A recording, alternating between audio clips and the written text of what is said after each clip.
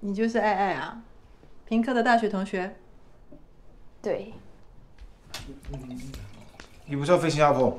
哎呀，呆姐公司临时有事，所以就取消喽。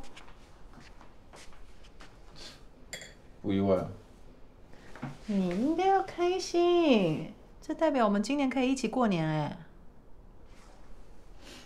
哎，这个我来。嗯，没关系啊，我等下自己丢洗衣机就好。洗衣机里面的我都还没晒，我等下一起弄呢。你妈该不会是被我们吵醒了吧？可能哦。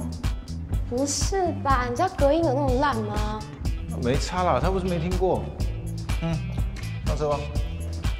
啊，你不是说这台车只载女朋友？是吗？我说只有女朋友才能骑吧？哦，是哦，好想琪琪看。你说三个字，不可能。小气。快点啦！他现在跟我打传说。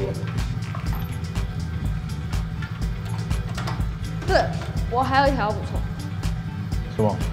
第十条，不管怎样，你跟我都要以维持朋友关系为优先，OK？